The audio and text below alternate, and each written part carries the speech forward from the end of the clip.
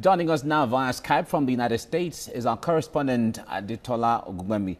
Tola, it's good to have you on right now. Can you tell us what is going on with the uh, issuance of the uh, passports and visas right now? What is really the challenge? Because when they talk about the uh, one of the reasons given as uh, electricity failure of electricity, one wonders if that is obtainable in the United States the way it is back in Nigeria.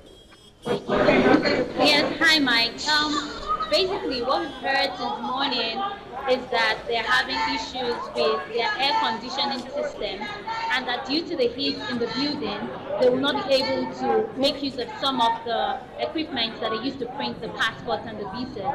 And also they're telling people that even if they can't give them passports, they can issue them visas to travel.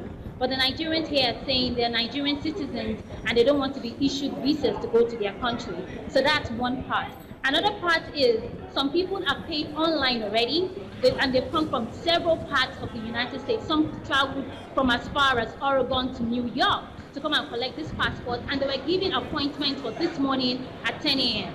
Many of them got here as early as 7 a.m., but since they got here, they have not been attended to. The doors have, have been locked. You can see them right behind me, gathered around the door.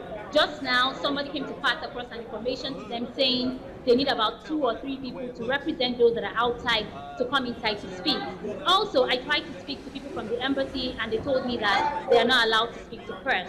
So it is a standstill here. People are wondering what's going on. And maybe when the representatives go in and come out, they'll be able to give the people here, you know, some information as to exactly what is going on.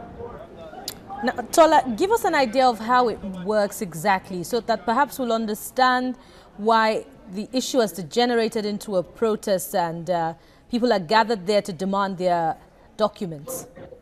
Okay, let me use myself as an example. I just renewed my, my passport, but I did it in Washington, D.C. The first thing you do is you pay online to Innovate Services. You pay about over $100 to renew your passport, and then they're supposed to tell you to come in, take the picture, and then come back and pick it up in a week, which is what many of these people here have done. You pay, many of them are paid online for the, you know, the service, and they told them, you know, like, you know, they send you like an email asking you to come in and come and receive your passport on so so day or to come and take the picture. So that's what they've done. They've paid online now. They've come. Many many of them say they've come to take the pictures, and then they'll come back again maybe in a few days to collect the passport.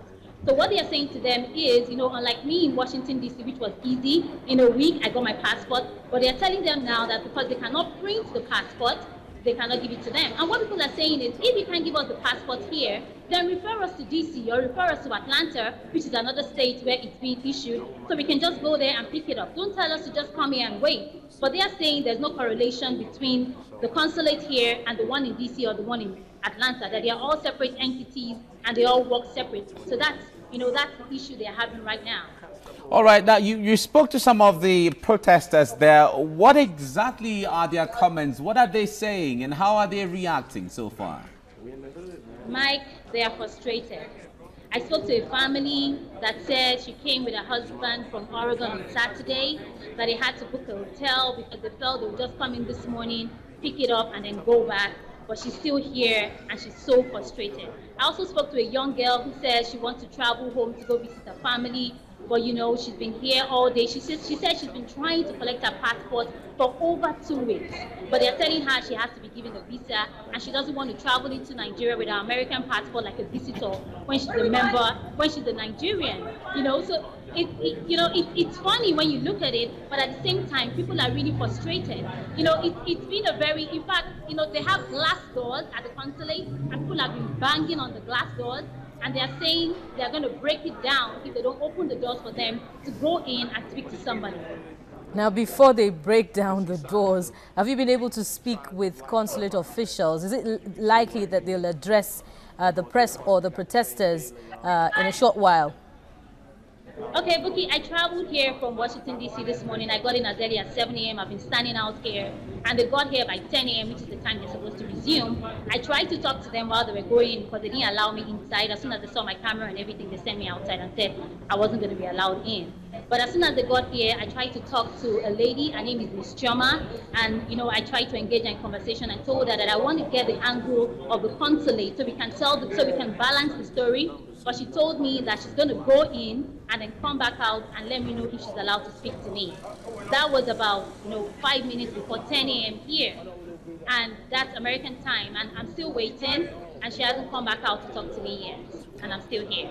All right, Daytola, we expect uh, uh, Chioma to come out to talk to you so you can get the perspectives of the consulate. Thank you very much for uh, giving us updates there. We'll keep a tab on you on that.